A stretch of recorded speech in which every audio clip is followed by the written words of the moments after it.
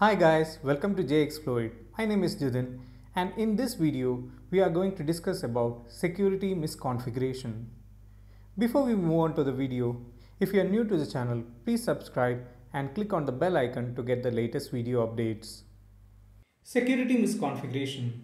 This is when a developer fails to implement the security controls on a web application. Let's discuss a scenario in which a hacker takes advantage of the misconfiguration in security controls.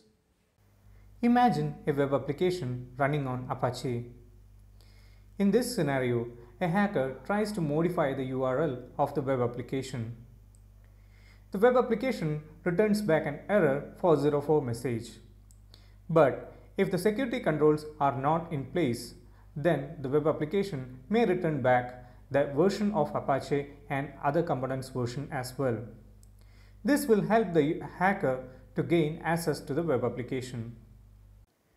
Now let's discuss how to prevent the misconfiguration of security controls. Minimal platform. Keep only minimum features that are necessary for your web application. Turn off all other unnecessary features that come by default in your web application. Patch, patch and patch.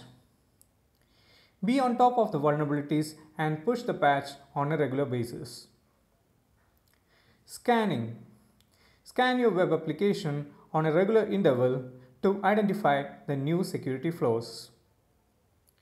Error handling.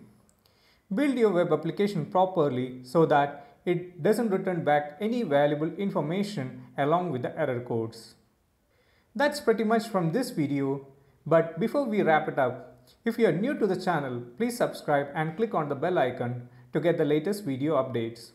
Thank you so much for watching the video. Have a great day ahead. Bye bye.